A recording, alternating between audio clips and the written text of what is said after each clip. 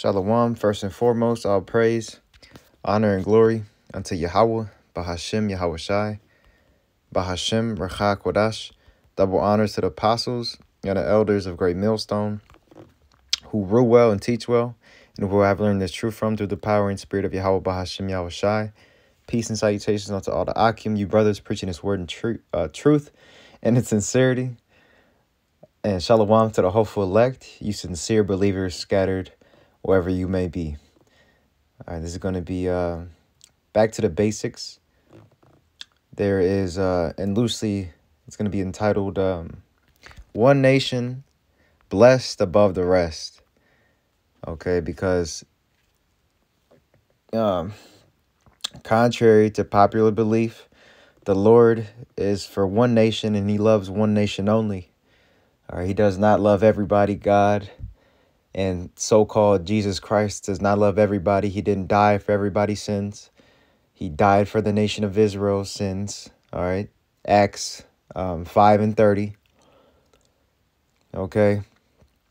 So this lesson is just going to be uh, uh, dedicated to that. You know, the Lord is for Israel and Israel only. All right. And mainly a lesson uh, for the new listeners Salaki, so like the new listeners, those who have been exposed to this truth, coming back, the Israelites coming back uh, to their heritage, all right, being born again. Um, in Salakia, I want to say Yahweh is the true name of the Heavenly Father. Bahashim means in the name. Yahweh Shai is the true name of the only begotten Son, who the world ignorantly calls Jesus Christ, and we know the letter J wasn't invented until 1524. All right, Bahashem means in the name, Ba meaning in, Ha meaning the, Shem meaning name, and Rakha Kodash is the Spirit Holy, which would be the Holy Spirit. And that is all in the Paleo Hebrew tongue. All right, so we're just going to hop uh, straight into this, starting with 2 Samuel 7 and 22. It reads, uh, yeah, 7 and 22. It reads, Wherefore thou art great, O Yahweh, power. You see the Lord here in all caps, it's referring to Yahweh. All right, Yahweh, power, God meaning power. It says, For there is none like thee, neither is there any God beside thee. And, you know, as, as many should know, as you should know, there's only one God, one Almighty, and that is Yahweh, meaning He is. Okay? He is. So there is no other God beside Him, right? It says, according to all that we have heard with our ears. And what one nation in the earth is like thy people, even like Israel. So is there another uh, is there another nation like Israel? There's not. It's a rhetorical question. You see? And you will know the the Israelites by through their spirit or through their lineage if they go back to the chosen seed through Abraham, Isaac, and Jacob, okay, Jacob being Israel, and you know what I'm saying. Uh, uh, through the curses is also a tell, tell sign of who the Israelites are today, Deuteronomy 28. But here we have to understand that uh, there's 18, and I'll try to grab it here, 18 or nations, biblical nations in this world. Israel being one of them. All right, Israel, Yasharallah, he prince power. He is the prince of the power. And in Israel, you have the 12 tribes, all right, consisting of, of primarily uh, Negroes, Latinos, and Native Americans. But we know through scattering and through us mingling with the uh, with the heathen nations, with these different nations that are listed here, there's going to be Israelites that may look like these um, particular nations wherever we were scattered, because we were scattered across the world, okay, due to uh, disobedience in the covenant that the Lord had gave us. You see what I'm saying? So, but it's all through the Spirit, and it, it matters upon your lineage, on your father's side, through your father's seed. If your seed goes back to Abraham, Isaac, and Jacob, if you can resonate with the scriptures, if you truly believe on the names of Yahweh, Bahashim, Yahweh Shai, it's a very great chance you are an Israelite, okay? And if you have salt, you know what I'm saying? you'll be an Israelite. Okay. Uh, Romans 8 and 16. You know, it's all spiritual at the end of the day. But going back, um, 2 Samuel 7 and 23, of what one nation in the earth is like thy people, the Lord's people, even like Israel, whom the Most High went to redeem for a people to himself, and to make him a name, and to do for you great things and terrible, for thy land, before thy people, which thou redeemest to thee from Egypt, from the nations and their powers. Because the other nations have their gods that they worship. Okay? But, you know, we worship the one God uh, through his son in spirit and in truth. All right, it says 2 Samuel 7 and 24. And really, those gods are no gods, and Lord willing, we can uh, grab the scriptures into that. But 2 Samuel 7 and 24, For thou hast confirmed to thyself thy people Israel to be a people unto thee forever, and thou, Lord Yahweh, are become their power, possessive pronoun. So this scripture alone should uh, uh cut that whole thing of of uh God's children is is all children. That's not the case. All right, God's chosen people are the Israelites. And all throughout the Bible, it's it's speaking of the Israelites, the God of Israel. You can type it in the search bar, God of Israel, God of Abraham, Isaac, and Jacob. All right, he is our power. He is our Lord. All right. He's not for the uh, the heathen, okay? So Israel um are the only ones that could receive salvation and that could really go off. Okay? And sin.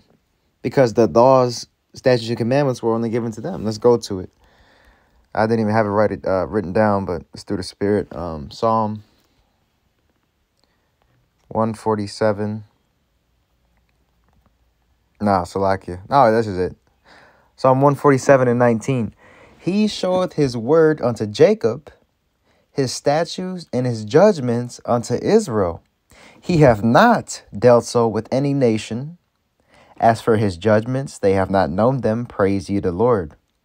In the NLT, it reads, He has not done this for any other nation. Woo! They do not know his regulations. Praise the Lord. Yahweh Bahashim Yahweh Shai. Okay, so again, there's one nation that are blessed above the rest. Okay because he have given the law, statutes, and commandments uh, uh, to Israel. All right, Deuteronomy 4 and 6. Okay, that that is that would be the wisdom in the sight of the other nations. Okay, because the other nations are, are, are beasts without the law, statutes, and commandments, and without the power of Israel on their side. All right, they have no uh, uh what's the word government or structure to them and uh, basically uh, uh, their morals, so to speak. But let's just go to, uh, let's get back into the scriptures. Amos uh, 3 and 1. Amos 3 and 1. Hear this word that the Lord Yahweh have spoken against you, O children of Israel, against the whole family which I brought up from the land of Egypt, saying, you only have I known of all the families of the earth. Therefore, I will punish you for all your iniquities. All right. So this is why uh, the curses were brought upon us. Okay. Because we went off. We disobeyed the Lord and his word. All right. We worshiped other gods. And to this day, you still have the nation of Israel going off, not returning un- uh, unto the Heavenly Father through his son, Yahweh Shai, repenting. Okay doing their best to keep the law, statutes, and commandments. All right, serving the Lord. Okay. Then I'll read it in the NLT. It says, Listen to this message that the Lord has spoken against you, O people of Israel and Judah. So uh, both northern kingdom, uh, Israel representing northern kingdom, and Judah representing southern kingdom. Okay, so all the tribes, the, all the 12 tribes, it says, O people of Israel and Judah, against the entire family I rescued from Egypt. All right, and he rescued, he rescued again, uh, uh, you know, all of Israel in that time. But now in this Egypt, not to go too deep, not to go too deep, but in this Egypt, uh, also known as Babylon the Great in the scriptures, also known as, well, really it is America. He's going to uh, save a remnant this time, those that uh, uh, are diligently seeking him. And ultimately, the elect, those that were predestined from the foundation of the earth to receive salvation. And we just hope we're a part of that number. But going back into it says, verse 2, Amos 3 and 2 in the NLT, from among all the families on the earth, I have been intimate with you alone. That's right, we're the Lord's women. Jeremiah 6. We are the Lord's women. It says that is uh that is why I must punish you for all your sins, and we suffer because of our sins. All right. Uh, so from here, let's go to First Chronicles um 16 and verse 32. Salakia 35. Salakia 16 and 35. Um, I'll start at 34. First Chronicles 16 and 34. Oh, give thanks unto the Lord Yahweh, for he is good. That's right. Only the Lord is good. It says, For his mercy endureth forever. Salakia, bear with me. Salakia for that. It says, And say ye, Save us, O power of our salvation, and gather us together, and deliver us from the heathen that we may give thanks to thy holy name and glory in thy praise. And his name is holy, his name is sanctified and hallowed, man. Yahweh Bahashem Yahweh Shai. And his prophecy that we would be calling upon the true names in the land of our captivities, man. Or in the land of our captivity. But this is what we're praying for the Lord to gather and rescue us from among the nations where we have been scattered. All right. It says, Blessed be the Lord, power of Israel, God of Israel, forever and ever. So he is the power of Israel and Israel only. He deals with one nation. The Lord God uh, deals with one nation. It says, And all the people said, Amen or Amen, and praise the Lord. Okay, so from there, let's jump to Second Esdras. Because you know, you have those people saying that, oh, we're all brothers and sisters. You know, we're all God's uh, uh, children, which he did create us, okay, but he loves, he loves uh, his people. Right? The others are just extras in his movie, so to speak.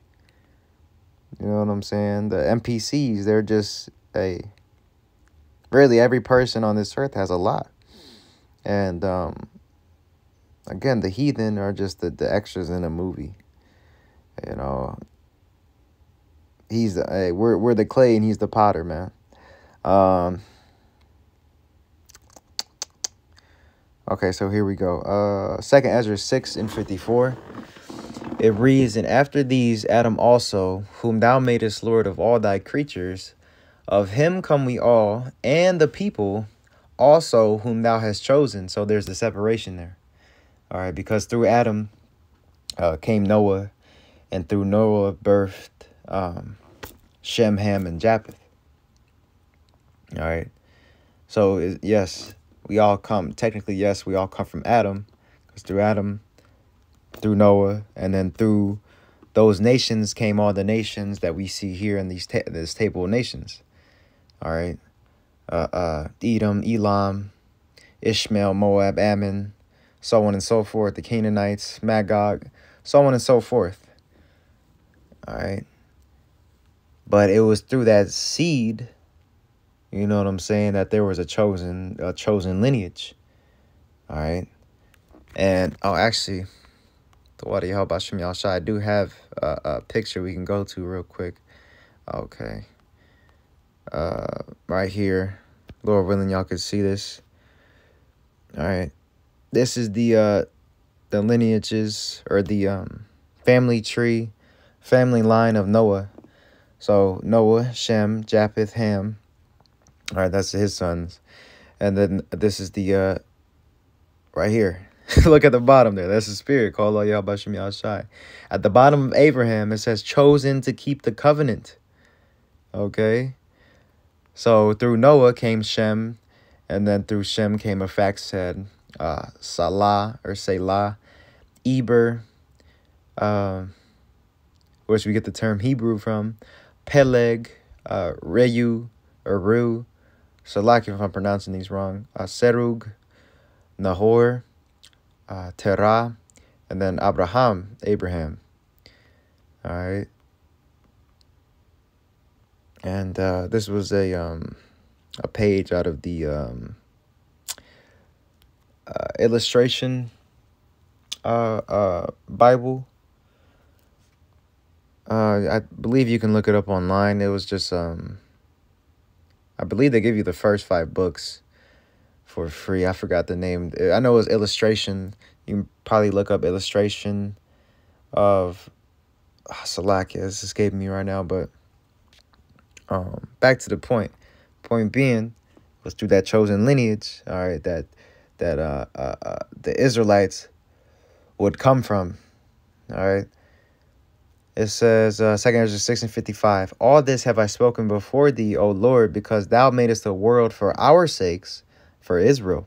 Right? It says, As for the other people, so as for the other nations, the heathen, okay, it says, Which also come of Adam, thou hast said that they are nothing, but be like unto spittle, and has likened the abundance of them unto a drop that falleth from a vessel. All right. And this is how you know the Apocrypha is of the scriptures because it, it, it correlates right along with Isaiah uh, 40. Let's go to it.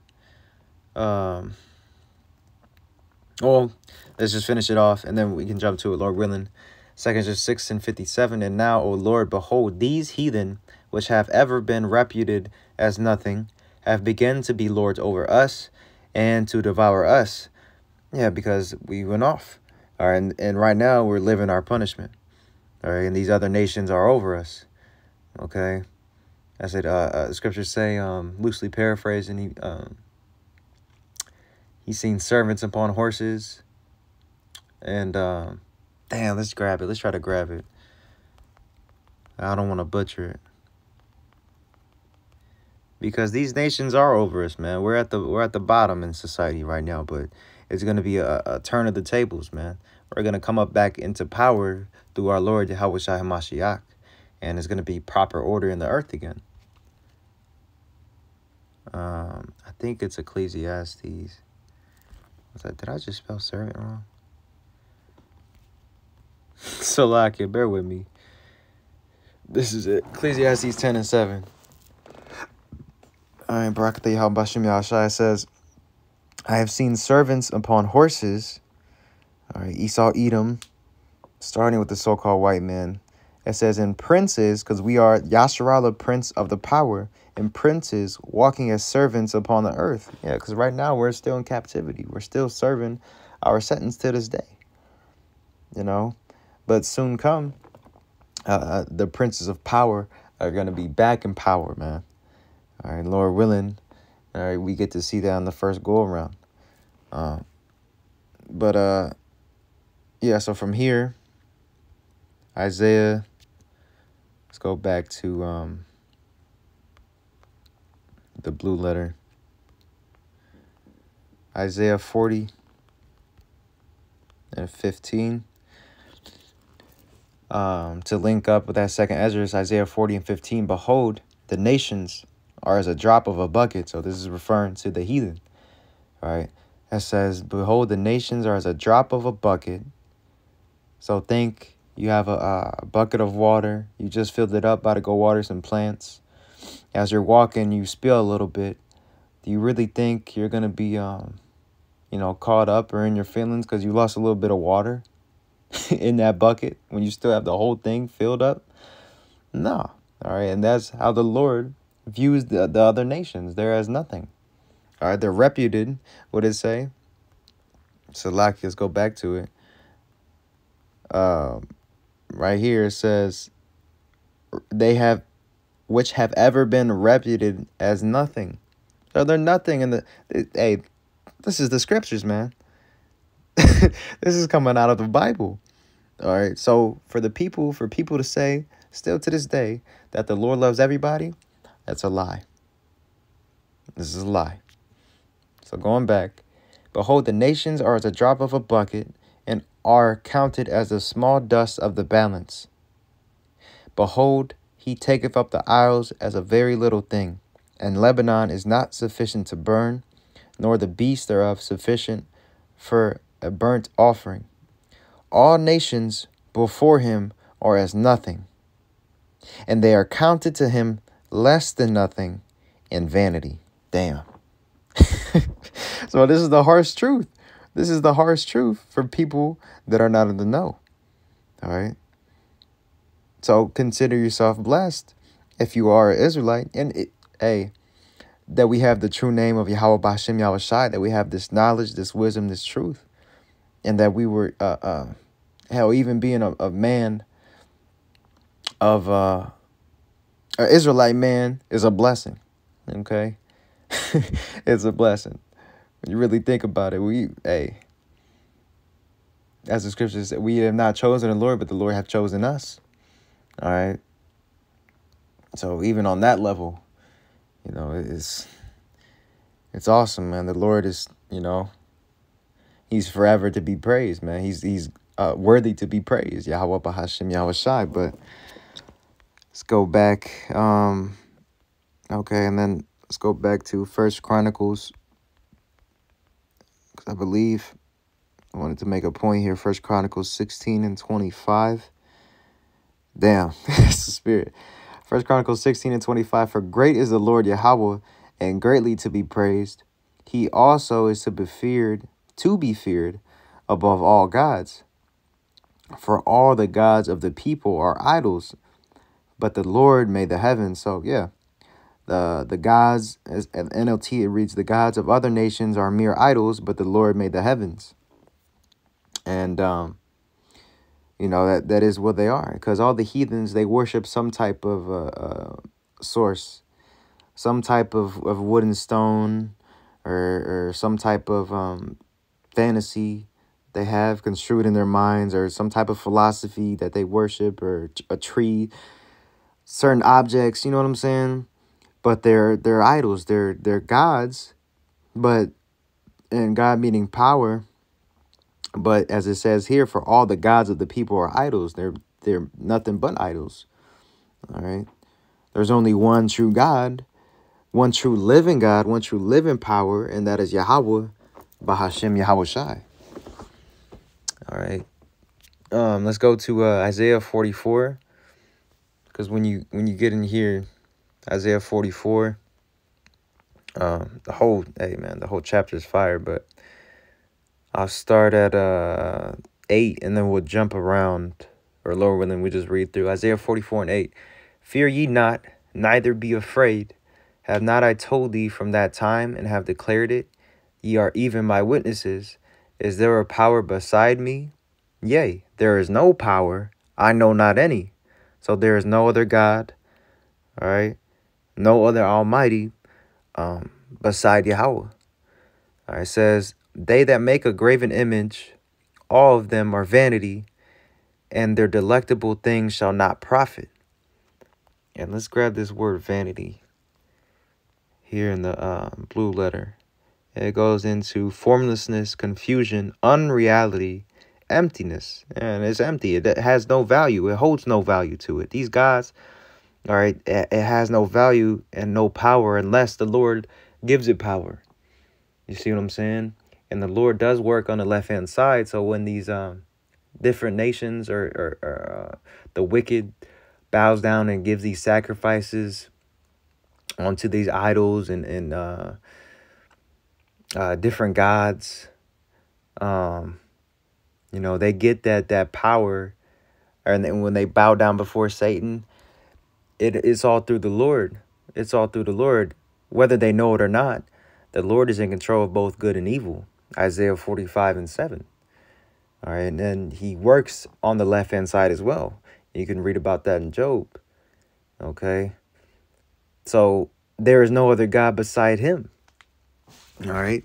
And when these people, you know, receive these these uh, uh different revelations, so to speak, or different type of uh um uh, what's the word I'm looking for? You know, basically, when when these things uh, come to pass before them, it's really the Lord doing it. You see what I'm saying?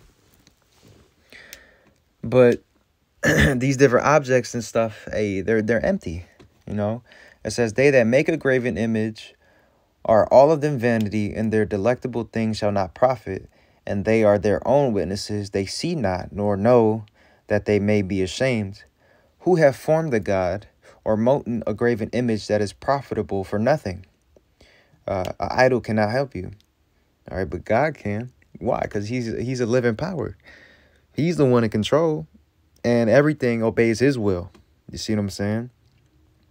It says, Behold, all his fellows shall be ashamed, and the workmen, they are of men. So how is it that these that's how you know the nation the other nations don't got it, man. The other nations weren't chosen above the rest you have uh, uh, these worksmen and craftsmen. It's going to go into it, but you have these um, particular, uh, uh, uh, um, you know, artists, so to speak, that uh, that create these idols, and then they go and, and bow down before it and worship it.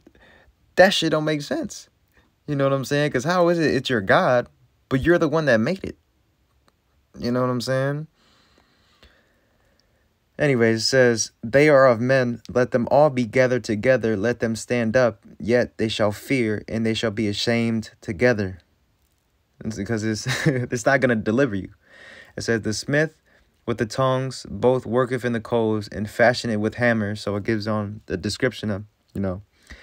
It says, And worketh it with the strength of his arms, yea, he is hungry, and his strength faileth. He drinketh no water, and is faint.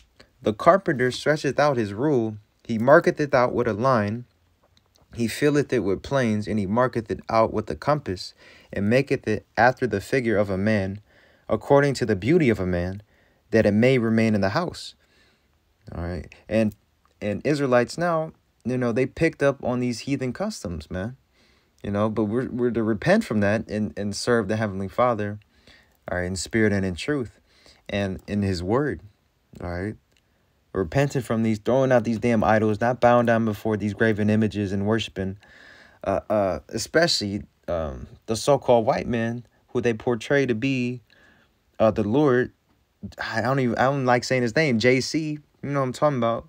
Jesus Christos. that's the main thing that's got our people in the chokehold, man. You know, to this day, especially uh, Northern Kingdom, they're all for these idols. As the scriptures say, Ephraim is joined unto idols, loosely paraphrasing you know? But we're to repent from that and, and worship Yahweh Shai, all right? And through worshiping Yahweh Shai, we honor the Father who presented Yahweh Shai. But it goes on to read um, uh, in the verse 13 in Isaiah 44, and maketh it after the figure of a man, according to the beauty of a man, that it may remain in the house. Uh, verse 14, Isaiah 44 and 14. He heweth him down cedars, and taketh the cypress and the oak, which he strengthen, strengtheneth for himself among the trees of the forest. He planteth an ash, and the rain doth nourish it. Uh, all right, and then we're gonna uh, we'll just read fifteen, and then it says, "Then shall it be for a man to burn, for he will take thereof and warm himself. Yea, he kindleth it." and baketh bread, yea, he maketh a god and worshipeth it. He maketh it a graven image and falleth down thereto. uh, it goes on to read, He burneth part thereof in the fire, which part thereof he eateth flesh. He roasteth roast and is satisfied. Yea, he warmeth himself and saith, Aha, I am warm. I have seen the fire, and the residue thereof he maketh a god, even his graven image. He falleth down unto it, and worshippeth it, and prayeth it unto it, and saith, Deliver me, for thou art my power. They have not known nor understood, for he hath shut their eyes, that they cannot see, and their hearts, that they cannot understand. All right, in the NLT, it reads, Such stupidity and ignorance their eyes are closed and they cannot see. Their minds are shut and they cannot think. Uh, back in the KJV, verse 19, and none considereth in his heart, neither is there knowledge nor understanding to say, I have burned part of it in the fire. Yea, also I have baked bread upon the coals thereof. I have roasted flesh and eat and eateth eaten it, slakin. And shall I make the residue thereof an abomination? Shall I fall down to the stock of a tree? And the NLT reads, The person who made the idol never stops to reflect, why, it's just a block of wood. I burn half of it for heat and use it to bake for my bread and roast my meat. How can the rest of it be a god? Should I bow down to worship a piece of wood? And it is, man. It is complete uh, uh, what is it word? Idia. I don't even know if it's a word. Idiocracy is is complete foolishness, man. It's folly. You know? But this is what these heathen do. All right? And two thirds of our people, you know what I'm saying, are committing acts right now as we speak. You know? Eating up swine's flesh and and and, and worshiping um pagan gods, partaking in pagan customs. Hell, we just had a, Christmas pass and uh, New Year's Eve. You know, you had Jake partying it up, all right, uh, uh, worshiping these uh these heathen, these heathen days. You know what I'm saying? When we're to repent and and not celebrate and partake in these uh, uh wicked uh holidays that the world perceives to be as holy when not, there's nothing holy about it. There's not uh, there's nothing holy about him and it's pagan. All right, we're to come back into our heritage, okay, and uh, uh, uh, celebrate the true high holy days, man. Keep the Sabbath. All right, refrain from eating pork and all the abominable foods. All right, and stop um going to church and, and kneeling down before the so-called white man. You know, picking up the scriptures, reading all right, daily praying unto the right, the uh, the true true God, Yahweh Bahashim Yahushai. Okay, so on and so forth, man. But they rather be uh, uh, uh comfortable in captivity. But Salakia, going back to the point, okay, there's one nation that the Lord is for. Psalm 78 and 5. Love this one. It says, For he established a testimony in Jacob and appointed a law in Israel, which he commanded our fathers, that they should make that they should make them known to their children. It says that the generation to come might know them, even the like even the children which should be born, who should arise and declare them to their children, that they might set their hope in God and not forget the works of God, but keep his commandments. All right. All right, but uh you know, through through the constant captivities that we we uh, uh, were um, brought into, through our disobedience, all right, we uh, uh there was a falling away. There was a falling away to where we were Gentiles. We were in a Gentile state of mind. All right, but the Lord in these latter days has uh, uh raised up men and prophets. All right, starting with Elder Abba Bivens to uh, uh, uh bring us back all right, to uh, to Yahweh Shai, and ultimately back into the Heavenly Father, man. All right, and it's all through the grace and mercy of Yahweh Bahashim Yahweh Shai, all right, that we were brought back into this knowledge. All right, and it's through the Ruach HaKodesh. All right, Yahweh Shai opened the seals, loosed the seals, and we were given this understanding through the Holy Spirit.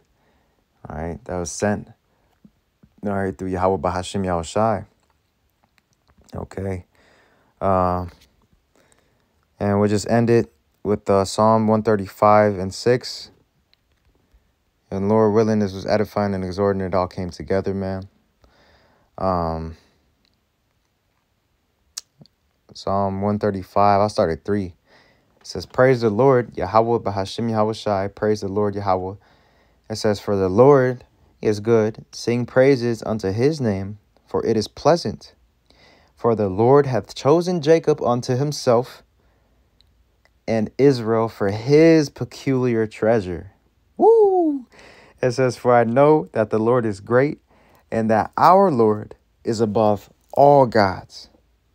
Right? It says, Whatsoever the Lord please, that did he in heaven and in earth and in the seas and all deep places. All right, with that, I want to give all praise, honor, and glory to Yahweh, Bahashem, Yahweh Shai, Bahashem, Wadash. Double honors again to the apostles and the elders of Great Millstone. Uh, shalom to the hopeful elect. Keep pushing, keep enduring. We are almost out of here. Akim wa akwath. Uh, shalom wa abab abal.